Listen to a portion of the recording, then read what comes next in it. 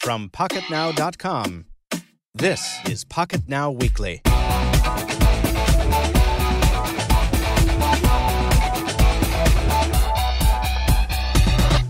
Hello, and welcome to episode four of Pocket Now Weekly, the once a week podcast from PocketNow.com, where we discuss news and opinion from the world of mobile technology smartphones, tablets, phablets, and everything in between. I'm your host, Michael Fisher, contributing editor at Pocket Now, and I'm joined, as always, by our managing editor, Anton D. Nadja. Good afternoon to you, sir. This time it was worse than last time. It's nudge. So No, wait, we need to worse? we need to practice. Yeah, a little I- bit. I but don't we need to it. practice. I- Hi I- everybody. Because You, the first you guys time are fighting like girls. I'm sorry. Well, let me introduce Brandon first, and our editor in chief, Brandon Miniman. Good morning to you, sir. Hi, mine's easy to pronounce, like Yours cinnamon. is easy to pronounce. What, um, I want to ask you about that. P- do people always comment on your name? When did the Brandon Miniman joke start? Like, I'm really, really late to that. Do you know what I'm talking about? Yeah, I don't really know. It's uh, it's been a while, and I'm actually not pronouncing my last name properly, but I, I do so to make it easier to say. It's uh, pronounced Miniman in, in my family, but Miniman is sort of what uh, back in high school and middle school people would call me. So I just you know kind of kept with the Miniman, and it's easy to say, and so. Oh, you adapted. Well, yeah, I, I love it. Like anytime, if listeners, if you don't know what the deal is, anytime Brandon posts a video, there's just like people accuse me of being high. Uh, there will always be like in the first ten comments somebody who just makes this 26 character Brandon Miniman joke, like he's uh, a game show host or something like that. I like it. I think you should introduce yourself that way one time. Yeah, I'm probably gonna do that next time. But uh, yeah, no, Tony, I swear, I thought uh, I thought I had it right this time. I thought I thought I was. Ah, we'll set. practice. We'll All keep on practicing. No, we'll you- get this one right. all right.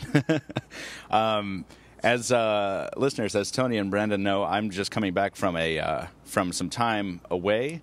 I'm on. I've lost track. I think I'm on like my fourth or fifth wedding of the year. Uh, not mine. Uh, this time it was extra special because uh, it was my brother's. So I'm just coming back from a week uh, for, from a couple days in, in Lake Tahoe uh, which was beautiful and wonderful. And so, but the point is, I'm catching up. I uh, I've been rushing to try and catch up with all the topics that have been covered because out there, I didn't even have LTE. It was a strange and or super rural existence trying to Scary. yeah very frightening trying Hey to live guys, I have a question about PVDO. weddings. Yeah. Uh, wrong wrong podcast, I guess, but I, I'm I'm curious. What are the customs in, in the U.S. regarding uh, marriages? So in here in this part of Europe and especially in Romania, when somebody attends someone else's wedding, that other person is obliged to invite that person, that first person who was at their wedding, and this one is obliged to go back. So if you went to like five or six weddings, then you have to invite the other to your wedding whenever that Oh. happens. Oh, that's interesting. I, I think it's reciprocal that way in the U.S. for um, like if you're in somebody's wedding party, like it's like, oh, you were my groomsman, then you know it's kind of you're not obliged necessarily, but it's nice to extend that invitation once you get married. But I don't know about invitations. I, I, Brandon, you're married. How's that work? I don't really know. I'm uh, I'm uh, I'm I'm involved in a wedding in two weeks, and I'm a best man, and I'm I'm working on the Oh. speech, and uh, Yes. it's sort of unrelated. There's a there's a tradition that uh, here here in the states, Tony, where uh, anytime you see the groom, you have to slap him in the face. Oh yeah, So I that- so want to move there. Do, do, do you have something re- im- uh, implying the bride too? Uh, no, you, you have to be nice to her. You You, slap the much leave her groom. Alone. You slap the groom in, in the face to give him a preview of what married life will feel like over the years. So by the time the end of the night rolls around, you know he can uh, he can. Uh, Make an informed decision. There's an Yeah. informal saying here in Romania about marriage that it's it's a huge, huge, huge pile of beep, and once you get to lick down the honey at the top, you get to the beep. God. Wait, is it is it like a thing in Romania to to, to, to kind of like put honey on top piles of uh, of excrement? Or well, I, I, I actually didn't come up with that synonym, but yeah, it's a good synonym. No, it's not. okay, good. Um, so uh, well, it's it's it's good. Uh, Brandon, good luck with the with the best man duties. I uh, I've I've done that once this year, and um, it can be a lot of fun. For some reason, everybody expects you to know where the bathroom is, no matter where where you are. It's great. Just be prepared for that. Um, we uh, there just a podcast logistics note. We are uh, we are talking about getting um, Joe Jaime uh, on the podcast, as well as um, we'd like to have our podcast winner, excuse me, our giveaway winner on the podcast, Ashley, as well, just for a few minutes to talk about the phone she won. Um, the only thing is, uh, planning for that happened right before I left, so I I'm, i just got back yesterday. So uh, unfortunately, that's not able to happen this week. But hopefully, we can get to it next week. But we are listening to you, uh, readers.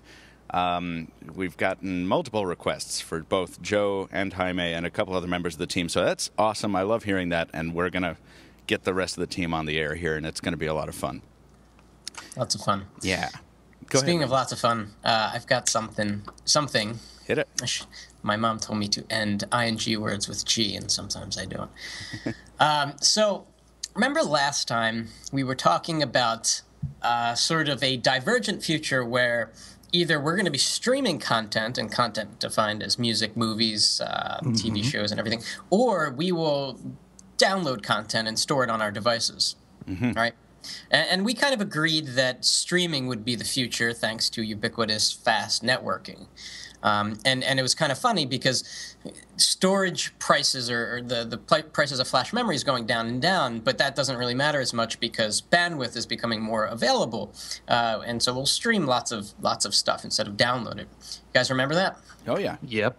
So I thought about a third possibility, and I'm going to present it to you guys, and you can ask, you can try to sort of downplay, not downplay. You can try to um, play devil's advocate and say why this wouldn't work because it's kind of extreme. It's very extreme, and uh, I, I just thought it would be probably the best of all worlds, and it wouldn't be possible for probably four or five years. Um, even even accounting for the rapid acceleration of technology. So here it is. Did you patent the idea? No. Oh boy. I, I, maybe I should. I was going to say, um, you sure you want to bring this up? It, it's not. It's not that you know. It's not that brilliant, but I think it's very intriguing. So, imagine in five years, storage prices for flash memory was so cheap that we could have uh, exabytes of data on our phone, which would be a thousand thousand terabytes. So it's it goes gigabyte, terabyte, petabyte, exabyte. So exabyte and and an exabyte is almost like having infinite storage. So the the the purpose of the exabyte would be to be able to hold all the content that's ever been produced, or at least all the content that exists on iTunes, all the content exists on Google Play. So you would buy a device, and it would literally come preloaded with every piece of content that has ever been created. And what would happen is that when you buy a song or buy a movie or buy a TV show, it unlocks a part of that massive data store. Uh-huh. And so you're not streaming it, you're not downloading it, you're unlocking it. And hmm. because you've got multiple devices, a laptop and a tablet, it's unlocked across all of your devices.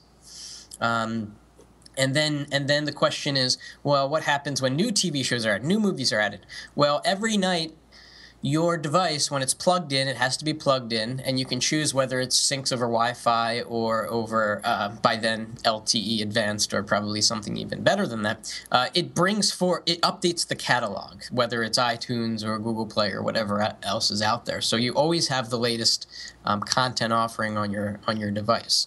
Um, what, what do you guys think about this kind of in the middle. Tony? I, I don't like it I mean, yeah, the idea as the idea is good by itself, but I don't know whether it's feasible. And not because the uh, huge storage. I'm sure we'll get to huge storage devices in time. Not that big of a storage device, but uh, huge storages. I think that copyright will be a huge, huge player in this game. And as you mentioned, it will be unlocked, but of course, the underground community will always be at work for unlocking. And I think it just wouldn't be fair for the artists, for the developers, or for somebody who produces intellectual property for the intellectual property to actually be there in the hands of somebody, even without the, them accessing it. Well, let's pretend that the um, purveyors of, of, of, the content have created a mechanism so incredibly secure that even the best hackers in the world can't figure out how to okay. unlock unlock the system or unlock the content uh, if they're not authorized. Okay, so, then I think this would kill the internet. This would also Yeah, because you will no longer need to go to the internet and browse and look for content because it will be there. Basically, your internet needs will be um, slimmed down to your phone or your tablet communicating with the server, telling the server to unlock that specific content, and that's it. You will no longer be streaming, you will no longer be consuming high amounts of data, and that will kill internet and carriers. Well, I mean, it's it's it's almost the same scenario. I mean, the buying process will be the same as it is today. You go into the Google Play Store, except when you hit purchase, there's no downloading. It just you know it's there. Yeah. exactly. I, and and then the carriers, the carriers will no longer need to charge you on your I don't know 100 megabytes necessary for you to download a, an album. It will only charge you for those I don't know how many kilobytes necessary for that specific album to be unlocked.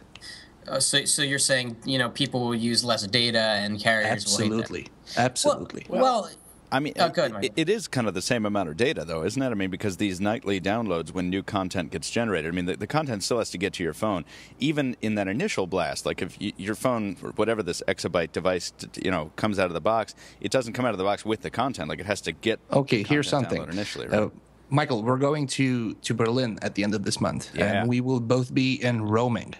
That means we will have data disabled because we don't want to have huge data bills. Mm-hmm.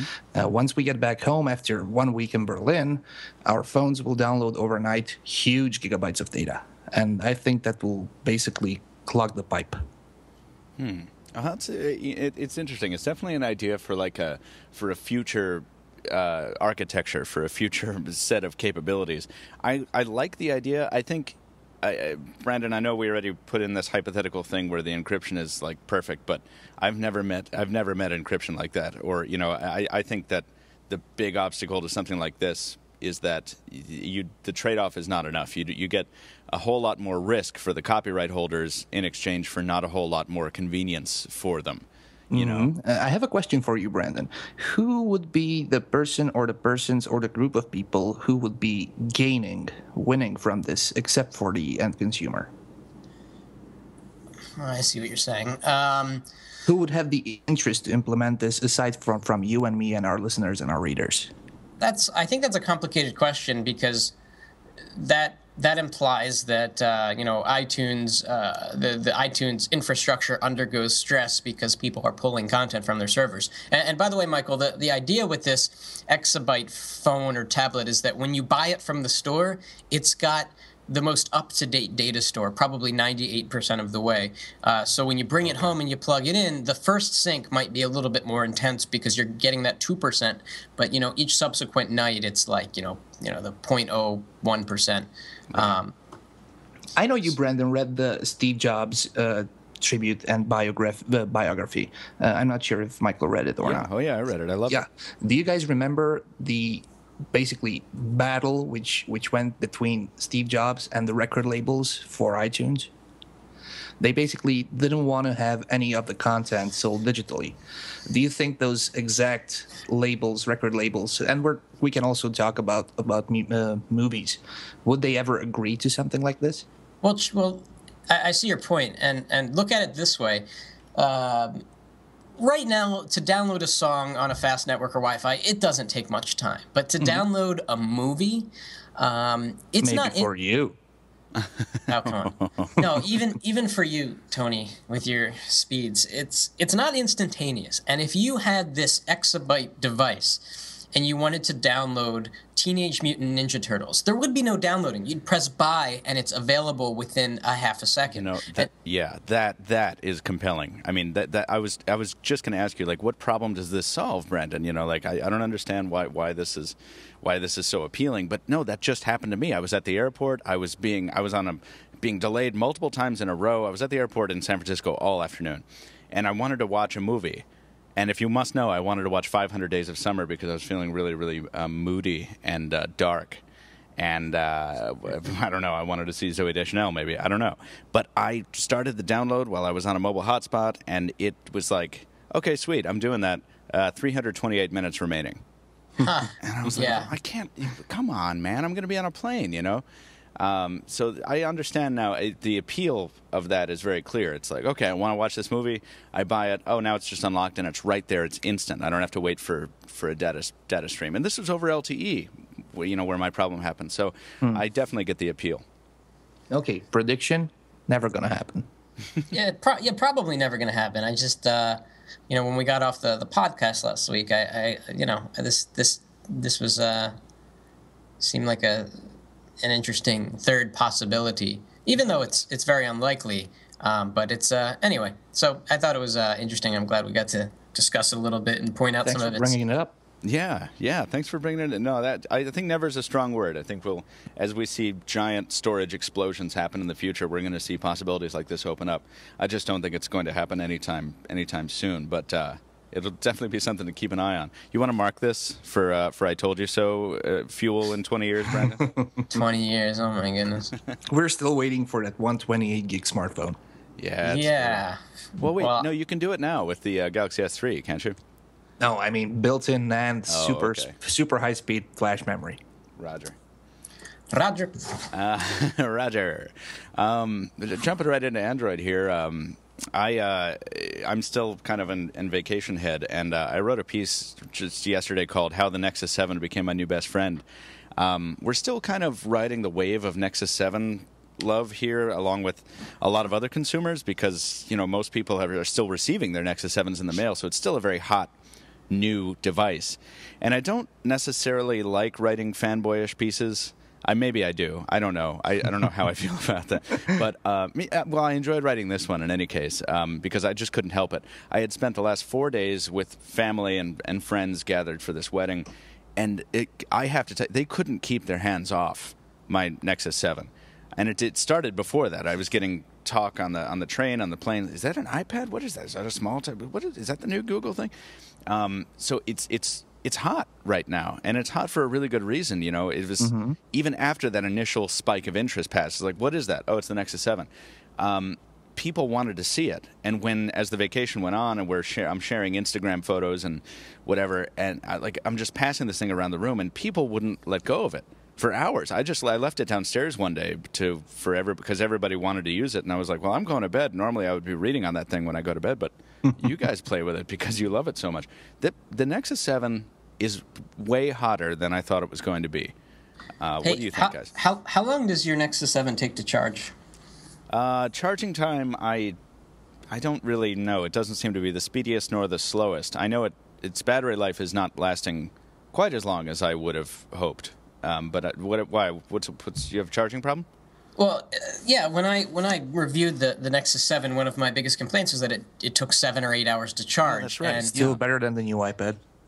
Yeah, it's still better than the new iPad. Uh, but then Jaime got his and said, you know, there might be there might be something wrong with your unit, Brandon, because mine charges in th- half the time.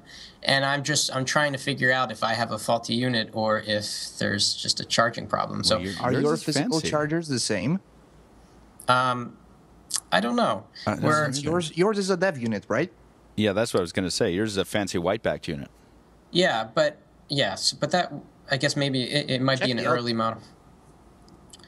Um, I'm I'm using the best charger that I can find, which is No, no, you use its own charger. Were you- using its own charger for the uh, when you did the the review, or do you do you remember? Yeah, I used the uh, the Asus charger, which is the one it came with. Mm-hmm. So so and and that that took seven hours. Can Mm-hmm. I ask real quickly? When I told people it was the Nexus Seven, I was like, "Yeah, the, man- the hardware is manufactured by ASUS. Is it Asus, Ace, Asus, A- Asus, or Asus? Because I've always said Asus. Am I wrong? Well, I can tell you, I'm telling Asus. Asus. Yeah. Oh, I'm not going to be able to say that, and people are just. Gonna well, it's, what, what, what, Brandon, what do you usually call it? I mean, I know we're probably both wrong. I call it Nokia. Oh. All right. Anyway, um, so that's yeah, that's the story in the Nexus Seven. I think Tony, I know that you're not amped on it. I wasn't excited about it either. I'm going to bring it to Berlin. you oh, play with you- mine. You're gonna you're gonna bring mine too to Berlin, my friend, because I just Oh. I'm just preparing to order one. Oh, are you? Yeah, actually, I know, I know, I know. You are all entitled to tell me I told you so, and I actually did a tweet And I said, I'm not gonna get one, but you got one, Brandon's got one, Jaime's got one, and Joe's got one. And everybody speaks so highly of it. Now, the problem isn't the fact that I cannot wait for Jelly Bean to arrive to my Samsung Galaxy Tab 10.1, which I'm rocking at the moment, or I can just uh, put CyanogenMod on it. I'm just curious to see that 7 inch form factor because I've met some uh, 7 inch form factor tablets uh, at MVC, at IFA. I was like, nah it's too small for a tablet, too big for a phone. But now that everybody says it's a super, hyper, super tablet, I need to have one, especially for that price. It's it's a bargain. For that price, that's the key. Yeah. It's a good price. Hey, hey, Michael. Uh, Yeah. When I pick up my Nexus 7, two things bother me so much to where I shortly uh, thereafter put it down and I pick up the iPad. Whoa. Um, number one is the screen. I I knew it. it's just like it, I, I feel like it's it's got 256 colors. It's basically. the pixels. I was just going to say, is it pixels or is it colors for you? Because I'm the color snob. What do you mean? Is it the pixels or the colors? Well, I mean, you, you're always talking, Brandon. You're the you're the resident like pixel density, you know, fan enthusiast, right? He's the pixel Yeah. density meter himself. yeah, the- exactly. The human the- the- pixel density meter. the pixel density is is adequate. It's fine. I mean, that's not a, a worry. It's the color, uh, and um, you know, again, this might be my developer unit, but I don't think so because uh, Jaime actually has this problem too. Yeah, he describes the screen as horrible. Right. What do you think about the screen when you compare it? When you're sitting there with your Galaxy Nexus, which has the most vivid colors, or in I guess if you have just two devices in your hand. Um, what do you think of the screen? Uh, you know, honestly, uh, this is strange because I, I'm usually a, a big display fanatic when it comes to colors. Uh, I, I really like what Super AMOLED screens do. I like oversaturated, blown out, tacky, if you will, colors. Um, and certainly the, the Nexus 7 doesn't offer that. Um, but, you know, it, it's also not gloomy. It doesn't to me, it doesn't give me a washed out display experience. I know Jaime has said it's terrible. I know you don't like. I, I don't. You know, I don't mind it. It, it is neither the best nor the worst display I've ever encountered. It really doesn't. It. I don't hate on it. Uh, it Brandon, you mentioned me. 256 colors. Is the problem that the colors aren't vivid enough, or are you experiencing some bleedings and gradients? Ah, good question. Uh, I, I, would say the colors just aren't vivid enough. The the the mm-hmm. black the blacks are like a very dark gray. Yeah. And I'm flipping through every wallpaper I can find because I want to have a very beautiful wallpaper on this Nexus 7. And every wallpaper I put on, even if it's a beautiful live wallpaper, it just looks bad. Have you tried that hmm. one that that Vortex one that you and I both have? Yeah, so like the first one I tried, and it just, you know, it just. Ugh.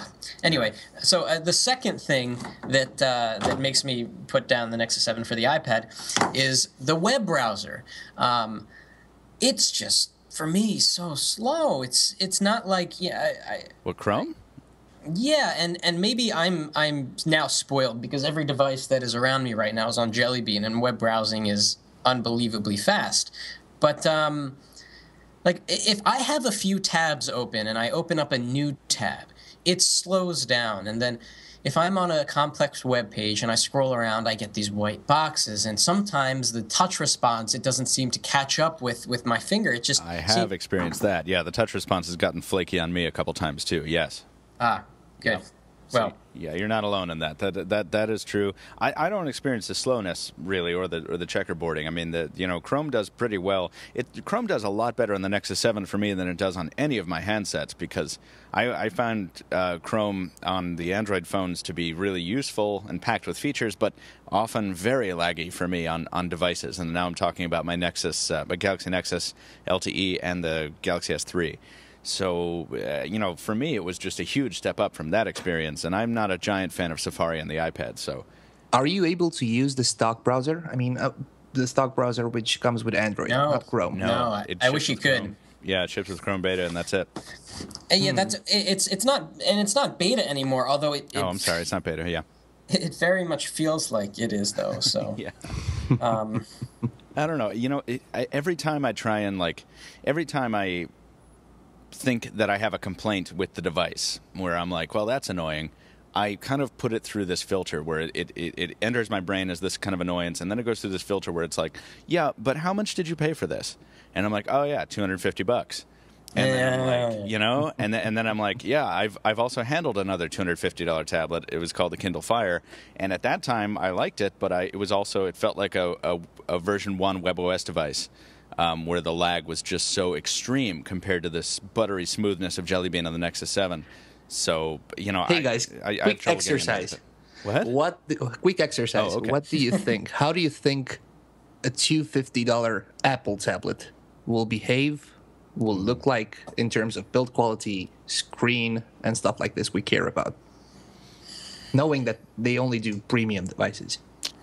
It'll be like an awesome, small, thin iPad with hopefully a screen that has enough pixels on it. so they, they will basically demolish the myth that you can build premium hardware at a low cost and with a low price tag. Well, yeah, I, uh, it's interesting to me to think about what kind of hardware variant they would make because I feel like it would look a lot like a lot more like a like a base level MacBook where might, they might go with like an iPhone 3G backing on it, you know, instead of the metal unibody, just to differentiate it and to keep the regular iPad premium. But uh, y- Do I you think don't it had those screen problems you guys are referring to? no, no, Apple would never let something like that out. it's a good point. Your point is well taken, Tony.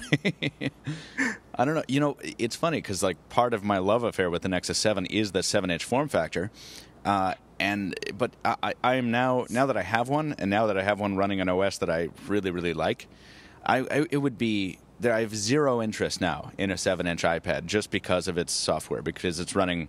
Um, you know, it would run iOS six, which which is not interesting, but that's a whole other ball of wax, I suppose. Um, oh my, oh my, uh, my touchpad is informing me it's time to wake up. Sorry about that. Ooh. Uh, 930. Nine thirty. I'm uh, I'm a late. Uh, I'm a night owl, listeners. In case you're not aware. Um, so moving on, we're we're uh, we're a little low on time. Um, As usual. As usual, we're it's good. I like being overtime. We have a lot of stuff to discuss. Just briefly, I want to touch on this because I uh, ne- the Nexus Seven was supposed to have a main camera. We've seen. Um, this was uh, this is a story by who is this? This is you, By Tony. Tony. Yes. What's the deal on this? There was a, there's a spot on the board for it. Well, actually, XDA developers did an unboxing, which wasn't really an unboxing a la carte, to say that. It was an unusual one, and they unboxed and they also dismantled the phone up until the latest, the last chip and the main board. And the main board was actually, actually cut out exactly to the size required for it to fit a main rear facing camera. And um, I have two theories about this. Uh, either we can wait in the future to see a similar tablet with a higher price tag with a main camera at its back, or it's just ASUS simply reusing some of its own tablet uh, hardware components, like the uh, Memo, I think it was the 370 or something like that, which had a back camera. Or, third theory, whenever they started discussing about the uh, Nexus 7, the initial plans were to include a main camera, but then because of costs, they just uh, didn't go with it. Yeah. I think I think we're dealing with number one here, where Asus had been working on a a, uh, a, a seven-inch tablet, or when Google approached them, they said, "Oh, this is great. We'll build the infrastructure for a seven-inch tablet that we will later have a higher res screen on and a screen with more than 256 colors, and we will we will we plan to sell it for 350. It will be like a premium seven-inch tablet. Once you know, you know, Asus isn't making that much money on the on the Nexus 7, and so they think, you know, this will help to drum up support for the seven-inch tablet market, and then when we launch our premium uh, seven-inch uh, device in time for the for the holiday season, people will be like, oh, this is like a Nexus 7 but better. On steroids. That would be really, really nice. I, I think that's probably exactly where they were going with the business thinking on that. Do you think there will be a premium Nexus tablet launched by the holidays? Not, it won't be called Nexus. I mean, I think this is good for a year, eight months, or ten months. Yeah, me too. but I think that I think that we are going to see an ambush of seven-inch tablets, which is fantastic, um, in the next in the coming months because I think uh, it's been proven that people really like the the seven-inch form factor. Hey, hey, Michael, have you taken off the uh, the back cover of your Nexus Seven yet? I have not. I am. Uh, it is still hermetically sealed. I. How do you do that anyway?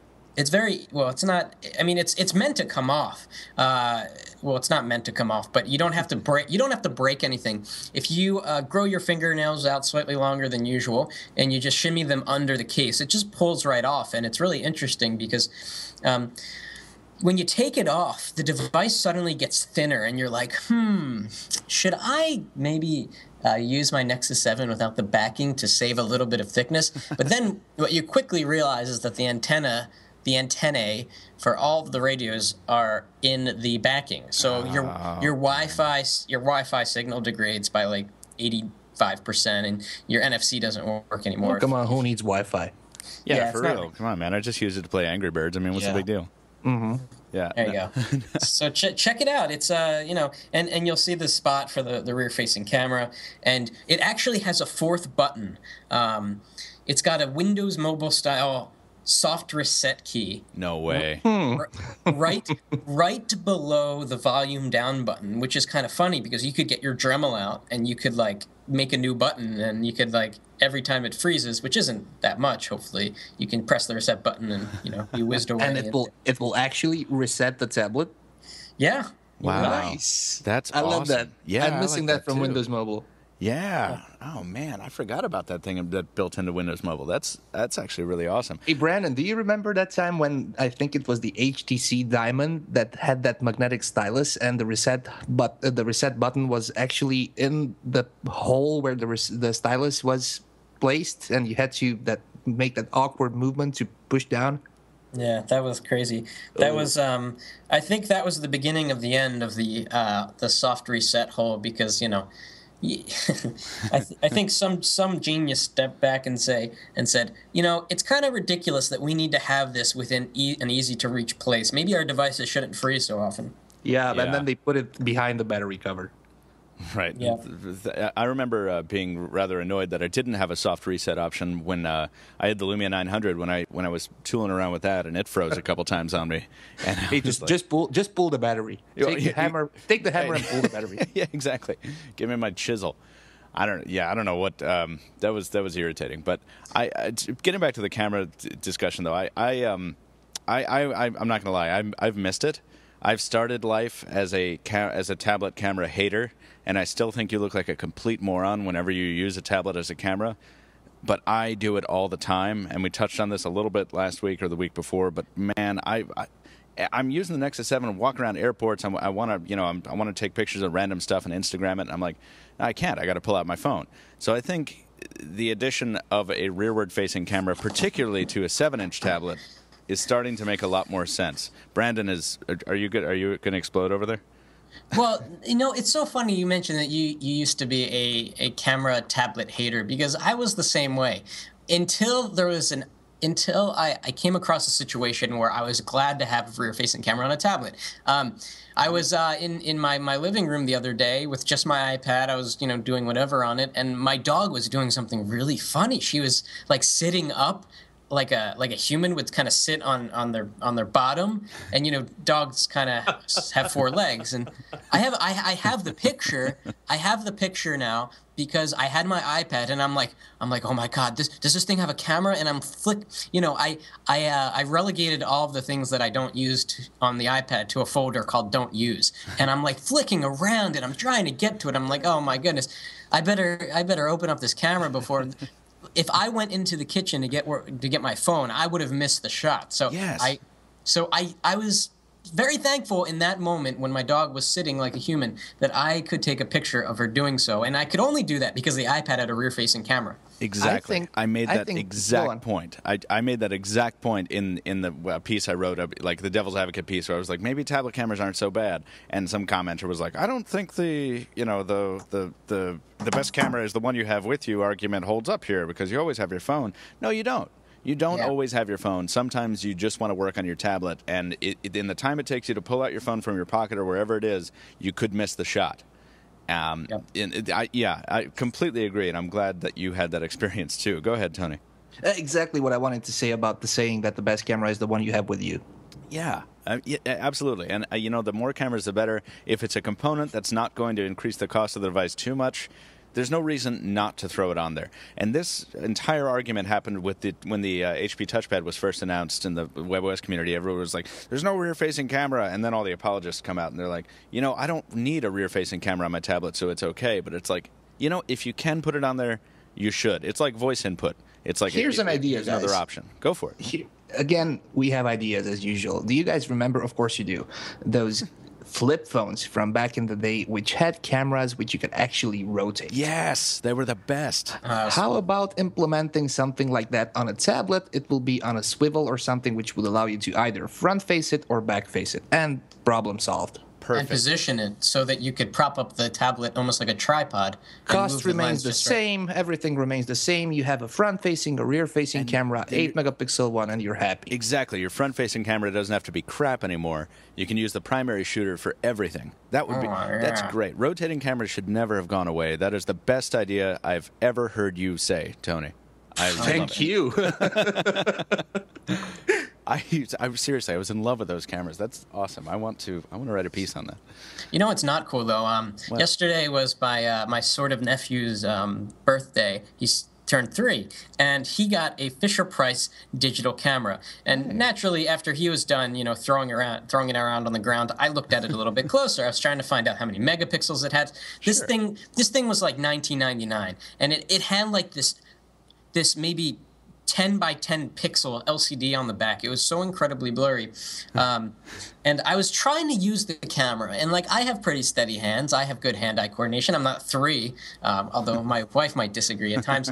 and I was trying to take pictures with this thing, and I couldn't really do it because it just took a blurry shot no matter what. It just had like the slowest shutter speed ever. Um, so um, I guess that's a cute way of saying that the the phrase, you know, the best camera is the one that you have on on you is it doesn't always hold true if you have a Fisher Price camera. yeah, Brandon, just admit it. You're you're sad that the, the Fisher Price camera takes better pictures than your HTC One X. Oh, sick burn. You are a dirty, dirty man. You know, I think you might be right though, and I don't understand when we criticize the One X camera, and people get really upset. I mean, you know, if I if I if the HTC One X was my only phone and I saved up for a while, I would I would be very proud by the pictures that it took. But Yeah. I guess I'm a little upset, and I think other people are upset too, that HTC touted the camera of the One X to the point of saying, "Oh, we have a dedicated image processor." Yeah. And if that's the case, why does it take poor pictures relative relative to other phones? That's the operative um, clarifier. Yeah, that's there. an important qualifier there because I've spent some time with some phones with some crappy cameras recently, and the the One X beats those hands. I miss the One X's camera after some of these. So Yeah. I get you. Yeah. Uh, Yeah, it's a positioning problem, right? It's it's what you just said. If HTC is like, yeah, we've got all this, like the camera's going to be the big focus, then the camera really has to blow you away.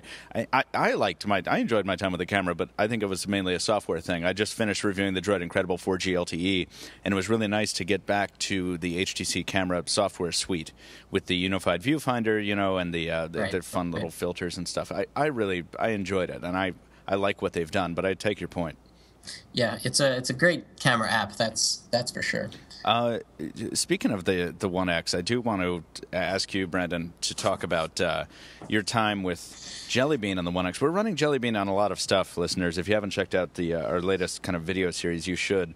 We're running. Um, I guess it's CM10. I'm going to let Brandon take it away here, but uh, on the the One X, the Galaxy S2, and the Galaxy Note, among others. Um, I kind of just want to touch on this, Brandon, and, and, and ask you for a brief overview of your time with that. Yeah, so I've been using the One X with Jelly Bean um, for I think a week now, and previously I was using a Galaxy S3, and in the last week I put some videos on Pocketnow showing uh, CM10 preview on the Galaxy Note and on the Galaxy S2, and I had really actually high hopes for the Note and the Galaxy S2 because they've got the Exynos dual core chip, and they're just great devices.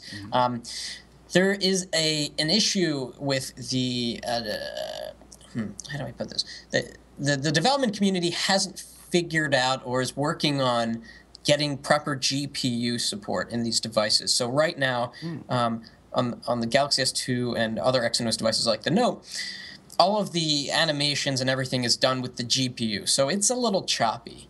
Um, but It's done with the, the GPU or the CPU?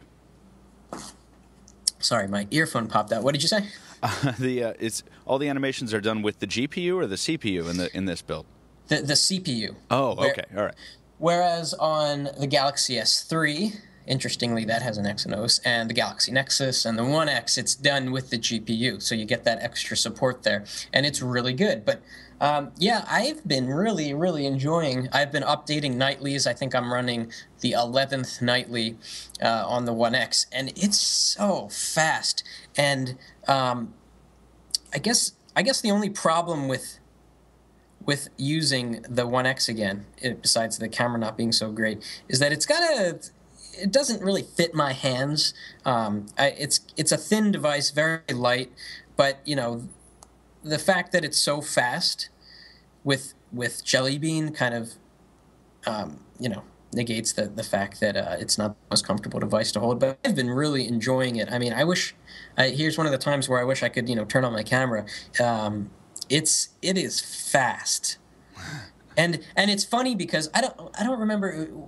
Let's see. Last time we had the podcast, I was still talking about the Galaxy S3 being fast, and um, it turns out that the One X is like a half a second faster in doing everything than the Galaxy S3 running a similar build of uh, CyanogenMod 10. I believe it, and it, it's got to feel much faster too because the the Sense Four, you know, the stock build of, of what the HTC One X ships with, you know, Sense Four is lighter than other versions of Sense, but it's still a very heavy, well, not very, but it's still a, a fairly heavy skin. Oh yeah. So yeah. the, the difference must be night and day between that and j- the Jelly Bean analog. I'm just is- curious how the official uh, HTC update will screw up that nice buttery smoothness with HTC and other deep integration the guys will do. Yeah. Yeah, that's a good question. You, you know, I th- I think what you say is very true, Michael. That this phone went into the drawer after I reviewed it because it had lag, and I was also I felt. I, I felt kind of misled because the One X w- was the first quad core phone. And, you know, when we took it out of the box, we we were expecting it to be the fastest phone, period. And it wasn't. Uh, Opening a folder, you could almost count the number of frames that it would require. And and now with Jelly Bean, all of that is a thing of the past. It's just really, really fast. Yeah, I remember, and I, I, that also puts me in mind of the differences you and I experienced between our two devices, which were visually identical, but yours was the quad-core global version, mine was the AT&T dual-core version with the with the Snapdragon, and uh, you know, just I, my, compared to yours, mine flew, and I was I had a, like a love affair with mine. The, the, it's the HTC, no, it was Lumia that started the the Empty Nest series, but um, the One X, I still miss it. I see if you do you want to you want to give me one. Anyone? I you really can have mine. Thank you. I'll trade you. For, I'll trade you something. Um, yeah, but anyway, yeah. Well, it, it's good to know that Jelly Bean runs runs well on it. I mean, it's. Um, I think I got a small taste of that when I installed the stock ICS keyboard on the One X to replace the Sense one, and it, it got me thinking way back then about like, wow, what would what would stock Android feel like on this device? And it's good to see, kind of, just get a hint of that, seeing CM10 running on it. I found a uh, an interesting feature of CM10. Um, I, I I I might have talked about this last time. I don't think. Did I talk about the keyboard vibration? No. So a lot of ROMs and a lot of uh, phones that are stock sh- ship with a, a keyboard that vibrates with a little bit of haptic feedback, right? Mm-hmm. And it's never quite for me. It's always a little bit too much, or sometimes too little. In CyanogenMod 10, you can adjust the vibration down to milliseconds. So I I was sitting there with the slider uh, moving it up and down, and I got a value of 19 milliseconds. And so when I type on the One X, I get like a hint of a vibration, and it feels so satisfying. It's it's improved the way I type, and I, I didn't even know that this existed. I think it's been in Cyanogen uh, mod ROMs for, for a long time now, but it's just a, a little little Yeah. a- added bonus. Isn't that feature also available on stock? I mean, not on stock HTC and Samsung ROMs, but on stock, I don't know, Google Stock- Nexus. Uh, Motorola. Motorola. The Atrix HD has it, and I found that it mm-hmm. ships out of the box mm-hmm. with the worst keyboard configuration. I'm like, this. It can't be this bad. And then I hop into the settings. I'm like, wow, I can adjust the the haptic feedback by the millisecond. That's amazing. yeah. Uh, by the way, Michael, you mentioned that it has a terrible, terrible keyboard, and also the Huawei you reviewed had a terrible keyboard. Did you ever try to? There's a tutorial and there's a calibration tool for for Android keyboards. Did you go through with that, or did you just use it stock as it was intended to? Now I'll tell you. I'll tell you. I did not, and I'll tell you why. Um, the HTC Calibrate tool is kind of buried, but it's it's more visible, like on their devices. Mm-hmm. So I kind of give that a fair shake. Um, the calibration tool on the uh, I think on the Ascend, I don't even know if I, I probably found it, and it, it didn't help at all because the Ascend just couldn't be oh. helped with in, input at all. I was that was beyond help. That was a horrible keyboard. I, I liked a lot about that device, but not the keyboard. But um, and the Motorola one, no, I don't. I don't know if there was a calibration tool on the Motorola one. I don't know if you could calibrate. You could do a lot with the settings, um, but the point is, both the iPhone and uh, the Galaxy Nexus, you know, the stock Android experience, do not require calibration to achieve a level of responsiveness that is yeah. admirable. You know, so mm-hmm. I feel like if you have to dive into the settings and and, and freak with the haptic feedback layers and, and, and, do all this kind of stuff. It's like, no. Out of the box, it should run well. This is like uh, part of the granny score that we do on the Scored for Me on reviews. Right. Where it's like, out of the box, this thing should be, at the very least, usable, and ideally, it should be, you know, wonderful. Like, Which device do you think, guys, has the best on-screen keyboard ever? I mean, for me, uh, I, I, don't want to sound like a fanboy. I can tell you that on a daily basis, I'm writing emails and texts in at least three languages. So uh, mm. auto correction and spell checking is off limits for me, and using the keyboard without these, I find the keyboard on the Apple iPhone 4 and 4S to be the best keyboard for my usage. What What do you guys think? Which has the best keyboard, the best SIP from your experience? Uh, Brandon, go ahead. I, I love this topic because there's such a difference between the touch responsiveness of one phone to the next, and I I think just when I think it's hardware, I, I update the ROM uh, to something that's not stock, and it, the keyboard's better. And then, so I think it's software. The touch responsiveness has something to do with the software, and I, I guess it's a combination of both. But to answer your question, Tony, um, I I happen to have this ready to go. My favorite keyboards are on-screen keyboard experiences. The iPhone is is the best in my opinion, followed by the Galaxy S2 Mm-hmm.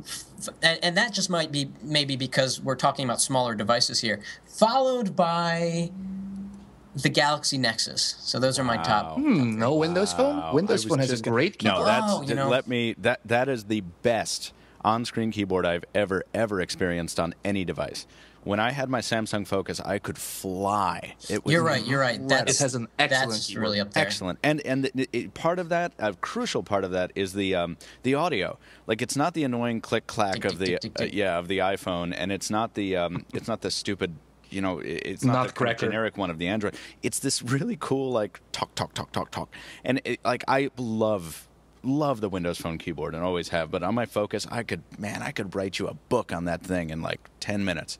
All right, great. I got to change. I got to change my list because I, I I mis- I forgot about Windows Phone. I'm sorry, um, but I would say iPhone number one. The Windows Dell, Phone number two. No. Windows. Well, well, the, specifically the Dell Venue Pro, which Ooh. like wait, five, are you five ta- You're hurting me now. Are you talking about the on-screen keyboard on the Dell Venue Pro? Yes, the on-screen keyboard. It, it just it was so thick. It was like you were typing with a freaking I don't know. Do and then uh, go ahead. And then and then the Galaxy S2 as number three. So I guess Apple, Windows Phone, and, and Android. Uh, t- two questions. Do you still have a Dell Venue Pro? Gave it away in a contest. Uh, okay. Which was actually a typing contest. Was it really? Oh yeah. oh yeah. Well, you ran a typing contest and then you gave the phone away to the winner of like the, the fastest typist? Mm-hmm. Yeah. Oh, that's awesome.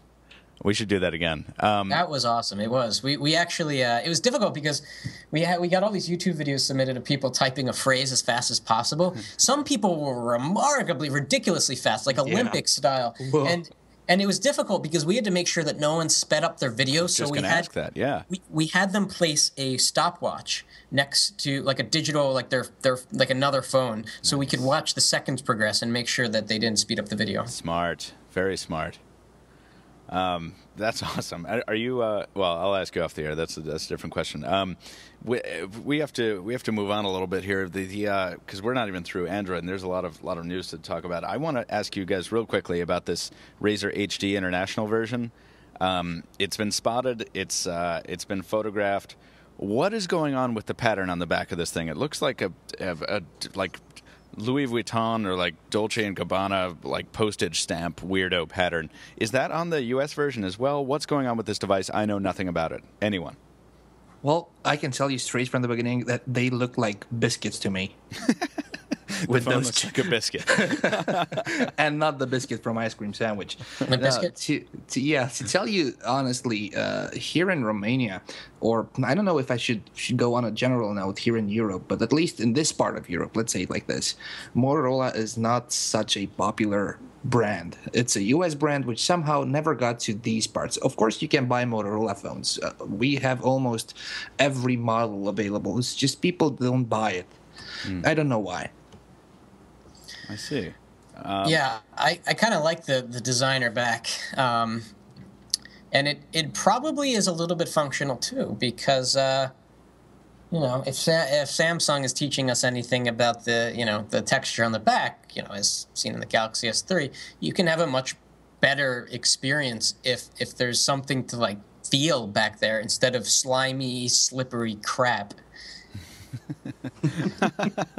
That's, um, that's a good point. I think uh, I think we're going to get a, a, a, live tweet quote from uh, Joe Levi on that one. Oh yeah, yeah. I, that's that's fun how he does that, isn't it? it is. I love. I, I do love the live tweet. I called him the Pocketnow official human closed captioning machine. Yeah. tweet this, Joe.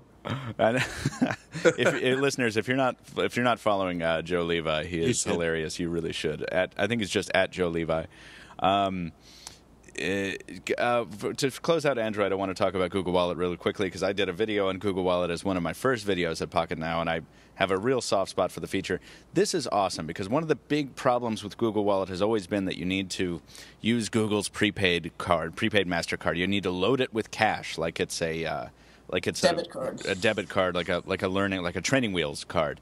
Um, but now, uh, as I understand it, uh, that is no longer the case. It's still going to use the uh, it's still going to use the Google Mastercard officially, but it, it, uses it as kind of a proxy gateway now to your actual debit or credit card. Um, I, go ahead.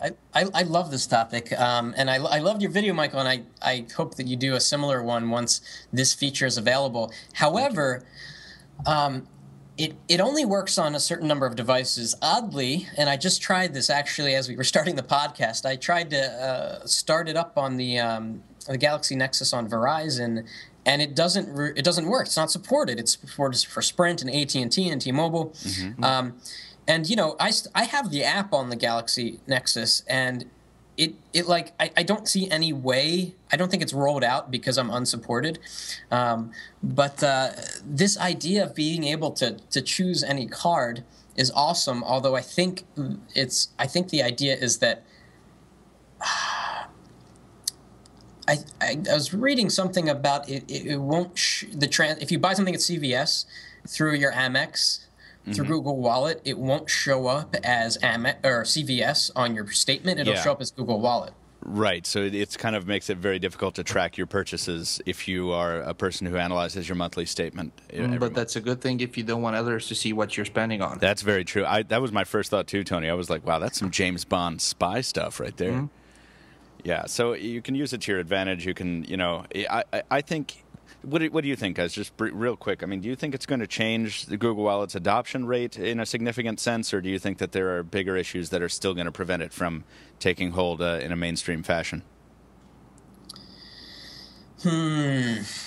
I can tell you straight from the beginning that uh, until I can count the number of countries where this is available, I can reserve myself the right to have no opinion on this. Of mm-hmm. course, I'm not only saying Romania, I'm saying Central Eastern Europe is not available here, but I can talk about the principle itself.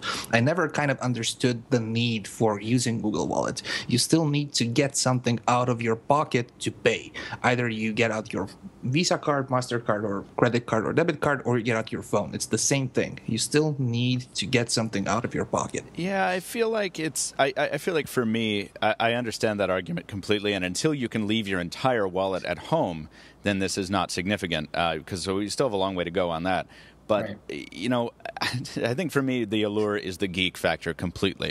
It's like I have a I have my device. It is smart, and now it's even smarter because I can tap this on this pad, and now I feel like I'm living in the Jetsons universe, and that's sort of what I live for. So that that's awesome. Plus, plus, uh, I'm sure you guys have it in the states, but now with the Olympics in London, I see every half an hour a commercial with v- Visa's new NFC credit cards, which you just only need to tap to an NFC receiver, and you're paying with your credit card without swiping it, without PIN codes, without signatures, without stuff like that. So you basically attach your credit card to the cash register, just like you do with your Google Wallet enabled phone. and and that's not new. I mean, uh, I uh, two two years ago, I I got a credit card, and I didn't even ask for it. And actually, no, like four years ago, I got a little RFID keychain thing that did the same thing. And then about two years after that, I got uh, the, a renewal of that credit card, which had NFC built in. Um, and I think it's becoming very standard. But I, but I, I think we kind of hit on the, the key the key thought here, which is that uh, the Google Google Wallet has to have beyond the geek factor, which is definitely there and, and interesting. Google Wallet has to have a benefit over. Um, taking out your wallet how can it be faster most people i think are waiting in line they're, they're checking their email or whatnot and it would be nice to be able to just boom tap and go but with google wallet uh, it, it's a little bit slower than that. Uh, you, you've got to put in your PIN sometimes, and sometimes you don't. Your screen has to be unlocked. There's a lot of steps to get the payment to process, and then you've got to deal with people looking at you like you're about to Yeah. you know, steal from the store. Right. yeah, it's true. And, and, and What if- at the moment it's so rare you still have to answer questions from people like, "What are you doing?" which is fun. but go ahead, Tony.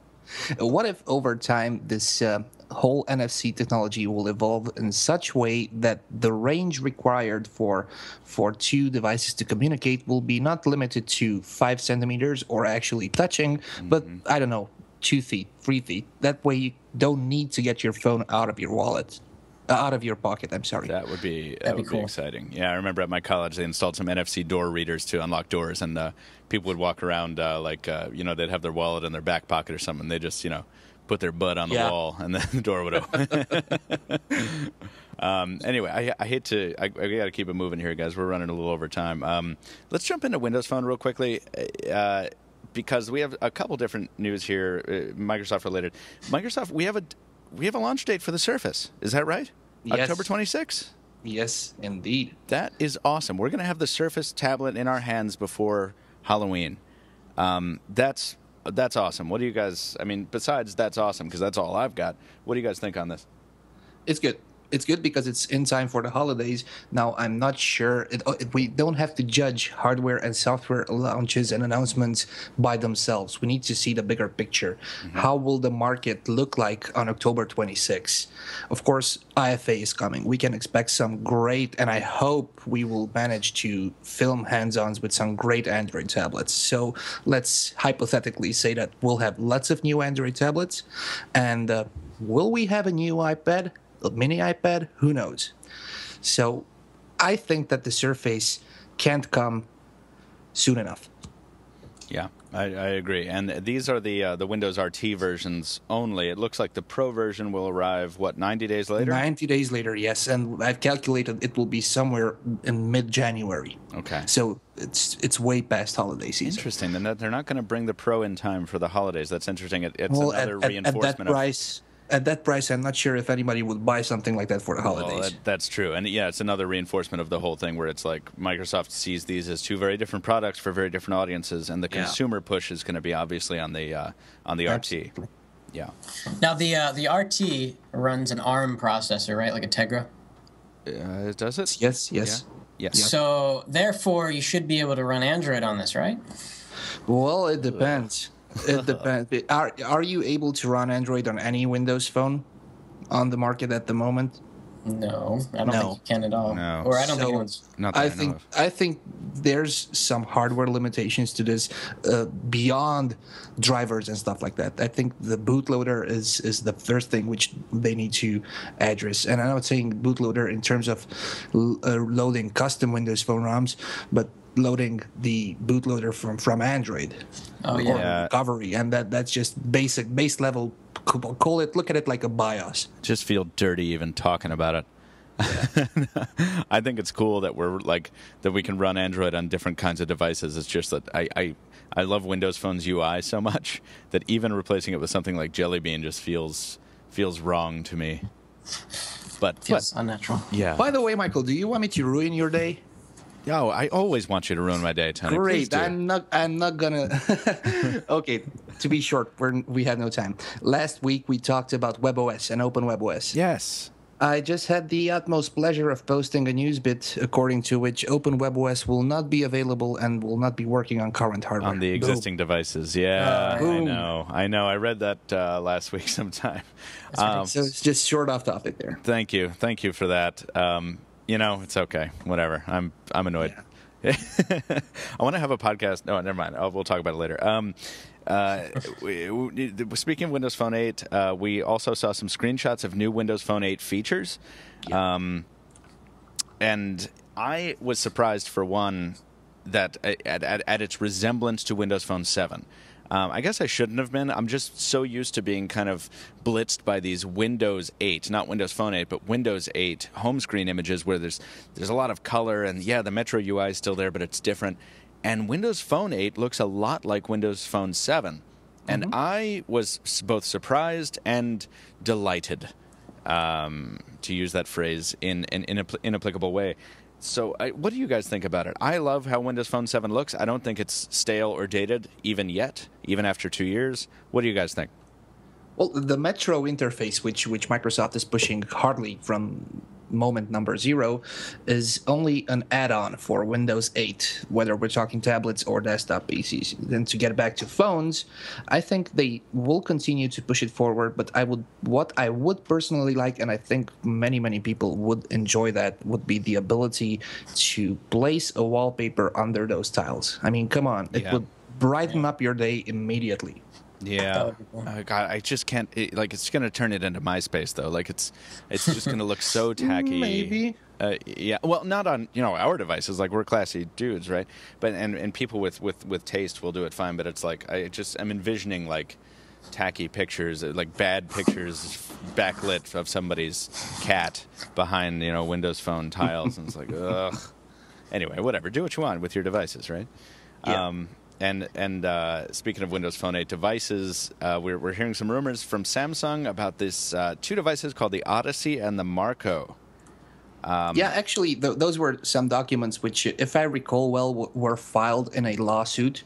Yeah, against Apple. And, yeah. uh, and yeah, yeah, and I'm not sure whether the judge was referring to these documents which were leaked or other documents as in regarding them as contempt. But uh, off topic aside, I think Windows Phone 8 will bring that second chance to Microsoft and that second chance to OEMs. And on an additional note, I've read that Samsung is planning to go on big to bet big on Windows Phone 8. Really? And I yeah, and I think this is a good thing for the platform and a good thing for OEMs and, and everybody. I'm just not sure what to expect because the Odyssey is, if I recall well, the higher end among the two, Yeah. and the Marco is the lower end. What what will be the differentiator? Will be most definitely the price. hmm It looks like we're looking at a Focus and Focus Flash situation. Yes, exactly. Yeah. Um, it'll be interesting to see how those are branded, and I agree with you. It is cool to see Samsung kind of stepping up in the in the face of Nokia's kind of juggernaut with their you know buddy buddy relationship with Microsoft, and like we have this other OEM coming in, Samsung saying, "Yeah, we just dropped that Galaxy S3 business on y'all, um, but also we do Windows Phone, and we do it we do it awesome." Bam. Hey guys, do you imagine the Galaxy S3 running Windows Phone like the? That's we what I was saw just gonna say. That's Yeah, that's what the the Galaxy Odyssey. I mean, that's what the Odyssey is pretty much. It's It gonna should. be. It's gonna be, should be. drop dead gorgeous. I think. That would be interesting. I uh, yeah yeah yeah yeah yeah. I mean, imagine live tiles in such a high res format with you know Mm-hmm. the the awesome AMOLED color popping and the blacks and the and a super Yeah. fast Speed. dual core Exynos processor, even Yeah, though it's not supported. Yeah. Yeah. And Yeah. um, it's uh, on a slightly smaller display, right? Because we're talking 4.65 inch Super AMOLED, Yeah. so it's more like a like a Galaxy Nexus running it. But yeah. it's gonna be sweet. Um, All right, that's uh, that's all we got for Windows Phone. I'm looking. I'm really. I've, I miss Windows Phone devices, so I'm looking forward to covering more of those. Um, jumping into iOS once again, we're looking at uh, a rumor that Sharp is shipping iPhone 5 displays this month. Yeah, They should. be- yeah. Go I, on, I'm, I'm fascinated to, to know how they're going to deal with the screen resolution because early rumors were, were that they were going to bump the resolution, which would require developers to rewrite their apps yet again. Right. And if uh, so, I, I I'm you know very very curious about that. I think the easiest solution would be to stay with the current le- resolution on the uh, width and only increase the height. Yeah. And that way, software and applications which were developed for, for the iPhone 4 and the 4S will work, even though you will have probably some compatibility issues or black strips at the top or the bottom. But that way, your, all your applications will work. Black strips Yep. at the top and bottom is not that. That's not winning. Uh, I, I had to deal with that on the pre three for a while, and that was really really annoying. Well, it's a, it's a temporary solution up until the point where developers adapt their software for, for the iPhone 5, which I'm sure they will do the way they adopted the Retina display on the new iPad. So it's just a matter of weeks until we see the most popular applications be fully supported, and a matter of I don't know a month until you see the rest of the of the guys catching up. But wasn't the Retina display uh, adaptation just kind of? Wasn't that just pixel doubling that had to be done? there? No, absolutely not. Actually, it worked like a pixel doubling at the beginning, Uh-huh. but the, the text and the images were so so faded out. Were so they? then uh, developers had to specially code for for the Retina display, and now thanks to that we have super crisp images and uh, clear text. So Yeah, just just fire up. Twitter on the new iPad. Yeah, yeah, no, I know. I, oh, I haven't used the new iPad in like a week because the Nexus 7 and I have been having a love affair. The new kid. Yes. Um, what uh, Apple iPhone 5 uh, is speaking of the hardware there. Um, we're, we're seeing some more photos if if we kind of believe these. Uh, we have this story called uh, iPhone 5 caught on camera. Um, what's the veracity of these guys? What is what is developed? Uh, this is an older story from about a week ago. They've been Mixed so thoughts. consistent. What the design has been so consistent in the leaks. The, the rumored design has been so consistent from so many different sources, unless they're all working together, Mm-hmm. that uh, I I think we know what the, the five's going to look like by now. I'm gonna be the black sheep, as usual. okay. And I'm going to risk saying that whatever leaks we've seen so far have nothing to do with the new iPhone. And I'm going to tell you this much. Do you guys remember, aside from the iPhone 4 Gizmodo stuff, any time in, in any any moment in time where somebody managed to leak an Apple product? Yes, the i the new iPad they leaked that successfully. Did they? Yeah, remember we we started you to are see right, but but they leaked it uh, approximately a week or two before the announcement and not months before it. right. Yeah, that's true. So I'm I'm not sure what to think. Apple is known to protect their their I don't know designs, their upcoming devices. I don't think anything we see today will have anything to do with the new iPhone. But we'll get back to this in a couple of weeks, and uh, I'll either eat my words or I'll say I told you so. We will see, won't we? Um, that's a good point, though, Tony, and I, I will look forward to seeing how that pans out. Um, I do want to skip to uh, right to our to our debate minute, uh, if you gentlemen are okay with that, um, because we do have some listener mail to get through, and we are significantly over time. Uh, the debate minute for this, uh, or two minutes, or whatever. We need to call this thing something. And listeners, if you have a suggestion for what to call this two-minute segment, please feel free to write in. We'll Yeah, the useless at the end of the segment. Yeah. Um, the topic for today is how. This comes from Brandon. How Windows Phone can one day have the most market share. This is an interesting concept to me. Um, not only because of because I'm a natural underdog, you know, worshiper, but also because I think a lot of people like Windows Phone. I think Windows Phone is kind of universally liked, yet it hasn't gotten a lot of traction for a variety of reasons. So, in what what combination of circumstances would it take, do you think, uh, Tony first, um, for for that to happen, for this world in which Windows Phone is the market share leader to exist? Two minutes. They're yours. Uh, no, I'm gonna use two seconds. It will never happen. wow. Wow. Continue. It will never happen because we are living in a world where Android is growing and growing and growing. We see activation numbers which are close to 1 million per day, if I recall well. And of course, this will at one moment top off. Uh, I'm not sure it will be continued by a period in time where it will slowly and gradually decline, but I think it will be a stable number of X hundred thousand numbers of Android devices, and Android is currently leading the market. What Windows Phone might have a chance to is to catch up to iOS. Even that's a long shot, but I could see Windows Phone as being the second platform overall. But it's a long shot again.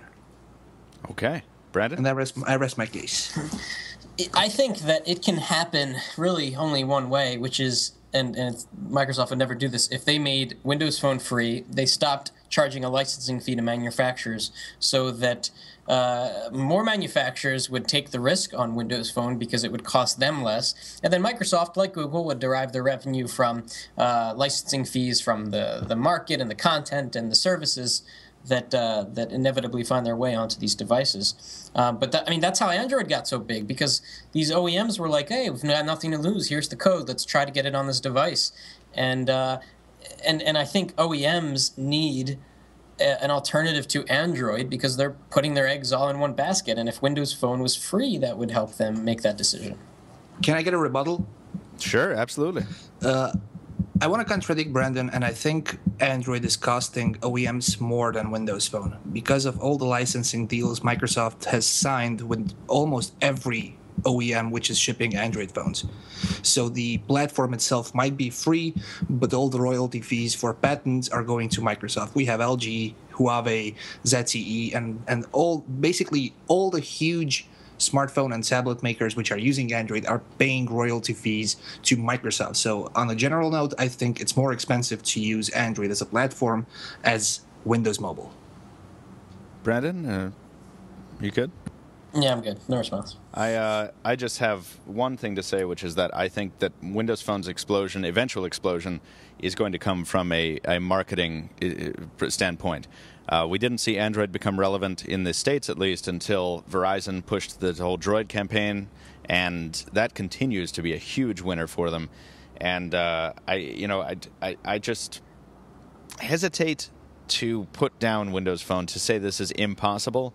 Um, it may never be number one, who knows? But we do have that report from IDC saying that uh, they predict Windows Phone market share uh, is going to surpass iOS in 2016. That's some bold, bold forecasting, and I don't necessarily think it's uh, at all. Um, you know the word of uh, of the Lord or anything like that, but uh, it's interesting that one firm thinks that way. No, um, I don't believe analysts at all. I don't. I you know, a, I don't either. I, I, I really have a problem with analysts uh, yeah, in general because they're wrong as often as they're right. But it's just interesting to see somebody go out there and say, "Yeah, this is what we think uh, about this platform that I think has a lot of potential and that I just think has been undermarketed." So. Um, yeah, there that is. We'll, we will have to see how that goes. Really great topic, and I want to talk about that again at some point in the future in um, in an editorial. Um, let's uh, let's jump into we. I don't want to close the podcast without uh, listener mail. Um, we have uh, our first piece of listener mail is from Alec Vanek. I hope I'm pronouncing that right.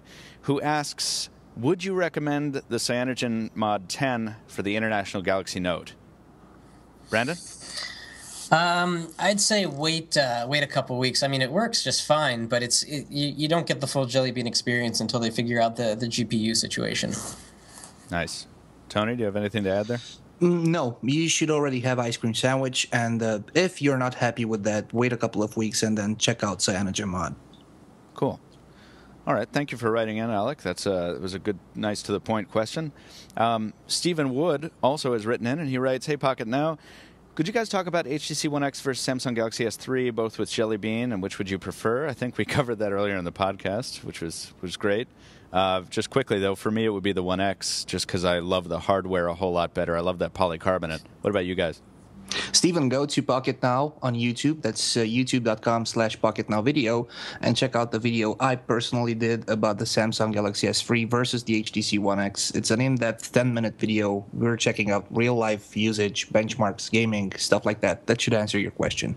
Nice. Yeah, um, uh, uh, If you're talking about, was the question with Jelly Bean or without? Uh, both, Both Jelly Bean and official. uh, or the official ROM. Uh, yeah.